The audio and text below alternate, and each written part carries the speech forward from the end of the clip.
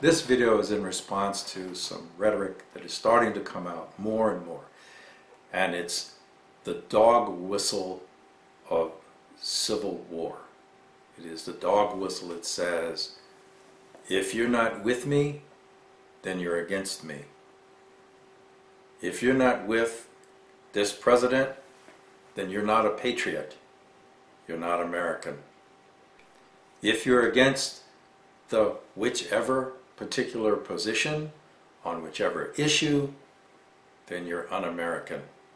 You're not a patriot.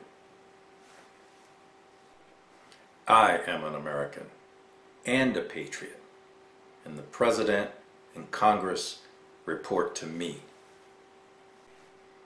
I am my country's keeper. But to do that, to be a good American and to be a patriot, I can't be ignorant. I have to stay informed. I have to be informed. I can't be apathetic about what's going on around me. I have to stay involved.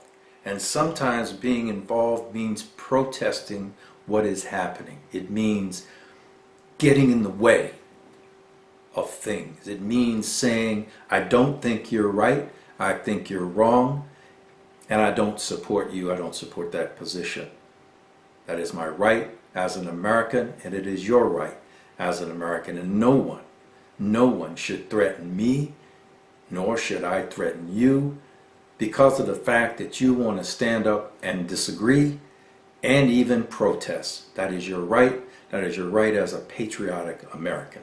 And I defend that for you, and I defend that for me. So I'm going to make my voice heard. I expect you to make your voice heard, right? But not just at election time.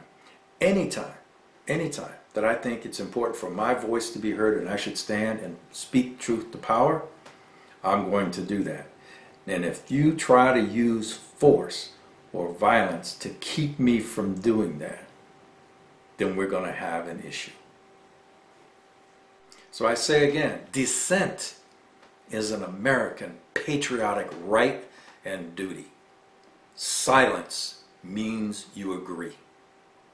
Silence implies consent. If you don't consent, get in the way. I don't want this country to go the way of Venezuela, where you have a president and his cronies who are so tied to the particular uh, uh, government that they have put together under Hugo Chavez that he had, this is the president of a country, stands up and says, yesterday,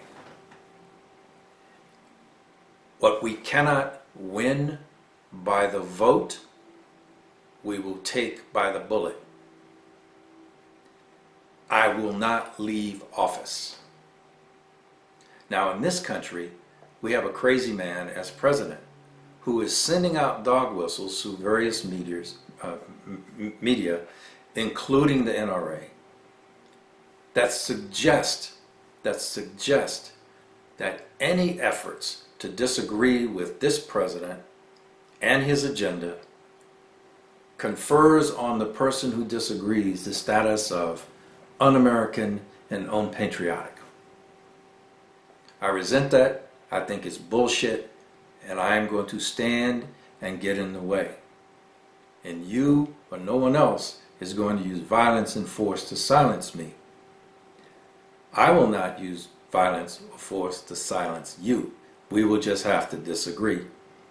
And we will disagree at the ballot box. That's where the disagreement will take place. Right?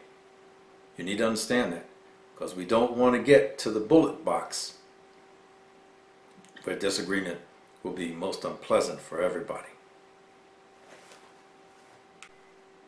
I, like you, can make a difference. We can. I matter. You matter.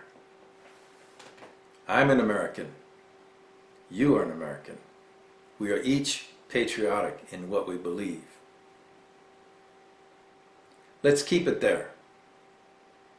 Let's keep it there. As always, thanks for watching. Carry on.